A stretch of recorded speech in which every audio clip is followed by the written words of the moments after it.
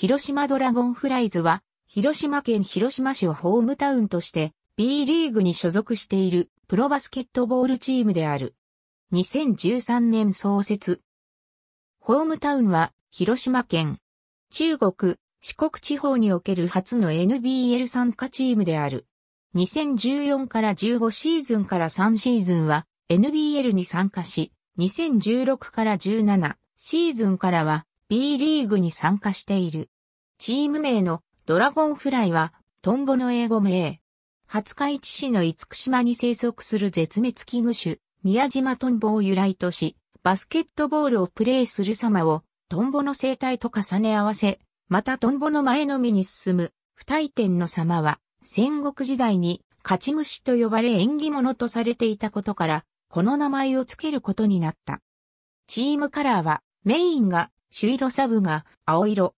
主は宮島にある厳島神社大鳥居から青は瀬戸内海の意味を込めている。チームロゴは宮島トンボと剣を中央に、バックは首都青をベースとした盾がデザインされ、バスケの講師を表現した。ホームアリーナは、西区商工センターの広島サンプラザホールをメインに、各地でホームゲームを開催する。運営会社事務所は、西区間の温新町のマリーナホップ内にあり、オフィシャルショップを併設している。事務所やホームアリーナは、広島市にあるが、下記設立経緯や必勝祈願を厳島神社で行うなど、廿日市市とも関係深い。紙、ネット媒体テレビ放送ホームアリーナは、広島サンプラザホール。過去には山口県内にも試合会場を設けていた。この中には、サンプラザも含め固定席収容数5000人を超えるアリーナはなく、下記記載の収容人数はそれぞれの施設が公表する固定席分のみで、試合当日は稼働席を設けるアリーナもある。現在、新たなアリーナビジネスモデルの実現を含め、専用アリーナの計画を進めている。サンプラザ東区廿日市呉市東広島福山2015、16シーズン会場。黒が過去の試合アリーナ。チームカラーの元となった厳島神社大鳥居と瀬戸内の海広島のバスケットボール界隈において、小中学校年代では全国レベルのチームは存在するものの、高校以上になると優秀な選手の受け入れ先がないため、タレントが他県に流出してしまっていた。また、トップカテゴリーチームに関しては、プロスポーツの野球やサッカーのチームあるいは全国的なリーグで活躍するバレーボールやハンドボールのチームはあったものの、バスケットボールに関しては、プロチームどころか2003年 W1 リーグに参加していた広島銀行ブルーフレームズが廃部して、以降、全国的なリーグに参加するチーム自体存在していなかった。2005年 BJ リーグ開幕、2007年日本リーグは JBL に再編する。この中で、広島県バスケットボール協会では、地元開催した2006年バスケットボール世界選手権以降のバスケ熱を活かそうと模索していた。JBL が再編され、NBL 発足が決定すると、2013年4月2日、廿日市市でスポーツ用品通信販売会社を経営する清水啓二が中心となってバスケットボールトップリーグ NBL に所属するプロチームを広島に立ち上げる会が発足する。同年5月県バスケ協会に了承されサポートを受けることが決定し、同年7月、NBL 理事会に参入を届け出て、同年8月認可を受け正式参加が決定した。2013年8月チーム名を広島ドラゴンフライズに決定、同年10月に運営会社を設立した。発起人となった清水は、球団専務に就任、社長には、県バスケ協会副会長、専務理事の伊藤信明が就任した。初代ヘッドコーチには、元日本代表で、前日本バスケットボール協会理事を務めていた、佐古健一が就任する。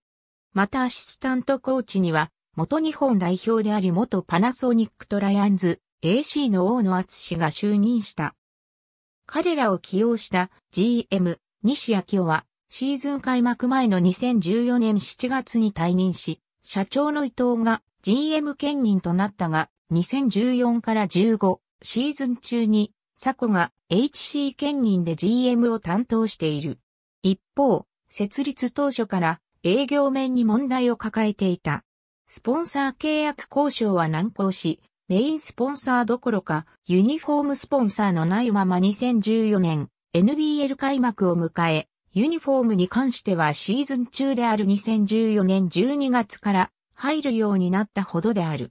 そこで今後始まる予定の JPBL 加入に向け営業強化を目的として経営陣一新が決定し、2015年3月に社長の伊藤や専務の清光含め取締役3人が辞任し、新社長として元広島県信用農業共同組合連合会幹事でドラゴンフライズ顧問であった岸房康之が就任した。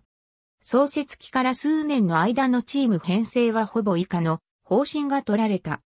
佐古県 1HC 県 GM 創設1年目は将来を見据えて育成重視で大卒選手を多く獲得。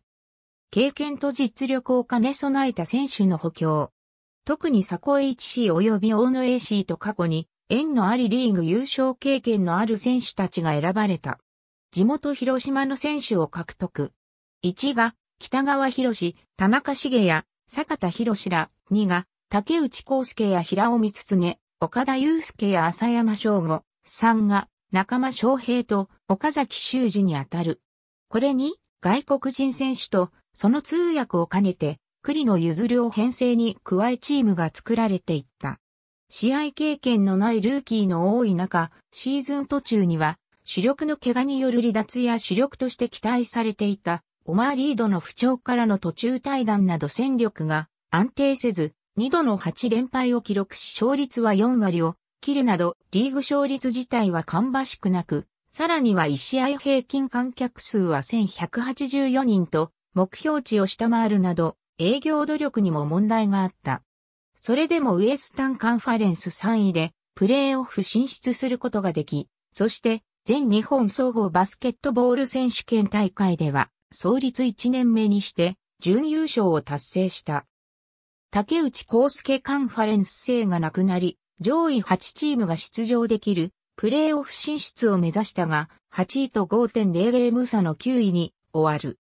2016から17シーズン今シーズンより NBL と BJ リーグが統合して誕生した新リーグ B リーグの2部の西地区に所属。西地区2位となり、ワイルドカードで B1 昇格がかかるプレーオフに進出。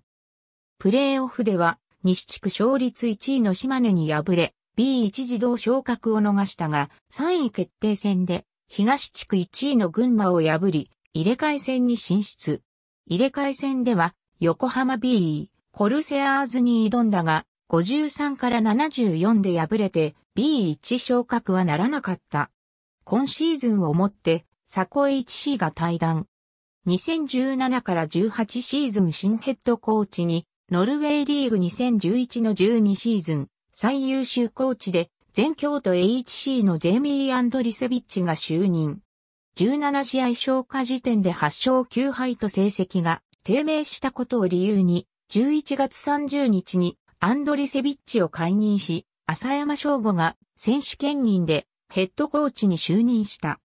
2018から19シーズンチームは新たに横浜、B、コルセアーズより差谷翔太新ヘッドコーチの招聘。前任の浅山翔吾ヘッドコーチは新たにアソシエイトコーチに就任。2018年8月31日、チームは新たに大浦優斗を新アシスタントコーチとして招聘した。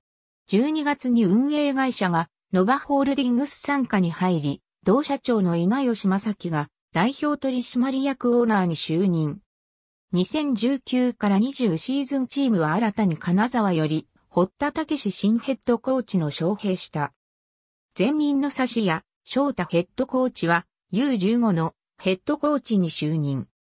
また、新たに東京 EX より高田信也を新アシスタントコーチとして招聘。前任の大浦優斗アシスタントコーチは U15 のアシスタントコーチに就任した。2020から21シーズンチームは悲願の B1 リーグへの昇格を果たした。また、首脳陣には昨季同様、堀田武史ヘッドコーチ、高田真也アシスタントコーチの就任を発表。2月17日、チームは成績不振を理由に、堀田武史ヘッドコーチの双方合意による契約解除を発表。浦信義 GM は、堀田ヘッドコーチには、クラブの念願であった B1 昇格を見事に果たしてもらうなど、大きな貢献をしてくれたことに対し、敬意を表すとともに、本当に感謝しております。とコメント。2月20日、指谷翔太が新ヘッドコーチに就任した。チームの指揮を取るのは、18から19シーズンに引き続き2度目。なお、U15 のヘッドコーチには、岡崎修二 U15 アシスタントコーチが就任する。3月8日、所属選手のジャマリトレーラーが大麻取締法違反の容疑で逮捕されたことを受け、当日付で契約解除となった。このシーズンにおける成績不振に加え、前日に起きた選手の不祥事も重なり、3月9日、浦信義は GM を辞任し、代表取締役社長の職に専念することになった。3月10日、新 GM に岡崎修二氏の就任を発表。NBL クラブタイトル個人タイトル。ありがとうございます。